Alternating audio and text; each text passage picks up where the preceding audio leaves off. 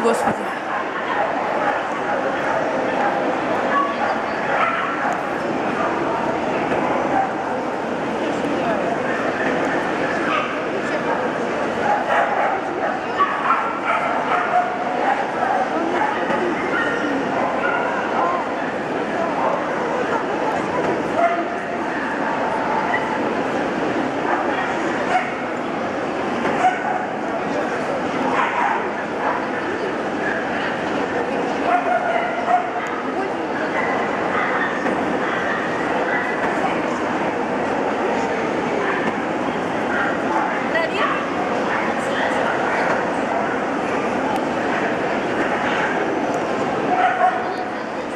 А Равена вже була чемпіоном Євразії.